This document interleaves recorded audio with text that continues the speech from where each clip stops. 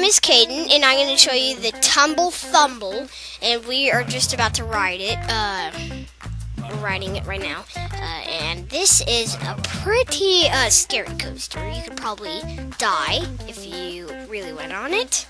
Uh, I just uh, just made this quickly, so I can just make a quick video showing that I'm on YouTube. Uh, I don't, this is my second video on YouTube. I do not know if, I mean, if I could take 10 videos, because that's my goal to do really good videos. This is probably not a really good video, so I'm probably going to delete this. But I think I'm not. But anyways, we are just going to watch this ride, and goodbye. Wait, this thing does one loop.